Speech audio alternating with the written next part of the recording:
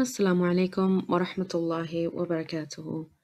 So, I wanted to share with you something that happened. I was going out for a walk with um, my youngest son, and um, as we were going into the park, um, he turned around and uh, asked me, You know, Ammu, why do the trees still look dead? And that took me um, by surprise a little bit. And uh, what I realized as I was thinking about how to respond to him is subhanallah, you know, we're approaching spring, and very soon um, these trees are going to blossom. You know, the buds are already um, coming out, and they're going to be in full blossom very soon. But what appears to us from the outside is that they still look dead. We don't know what's going on inside them. You know, the magic that's happening inside them, subhanAllah, only Allah knows what's happening. But from the outsider, it looks like they're dead. It looks like nothing's going on. It looks like there's no development. It looks like there's no growth.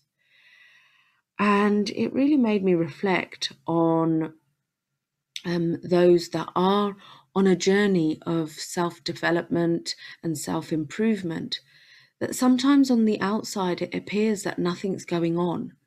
You know, sometimes my clients might say to me, you know, their spouse or, uh, you know, other members of the family um, might turn around and say to them, you know, nothing's changed in the early days. But you know what's going on for them inside the journey that they've embarked on the journey that they're ta- you know they're on. So much is going on inside you know and it's only allah who is al khabir the all aware the all knowing he knows what's going on inside and outside. He knows the hidden. He knows the innermost. He's the one that knows everything that's going on. Subhanallah.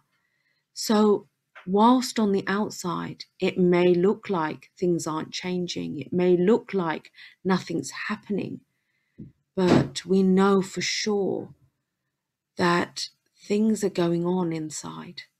You know, and for all of those that are on the journey of self development and growth, you know, you know what's happening for you inside. And that's the work that I love to do the inner work, looking at what go, goes on inside, how the inside works. Because when you understand how the inside works, it's only a matter of time since till the ramifications are apparent on the outside.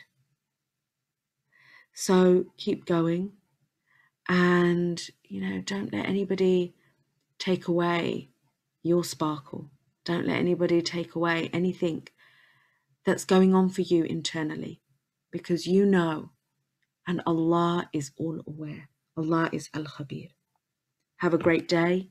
Assalamu alaikum wa rahmatullahi wa barakatuh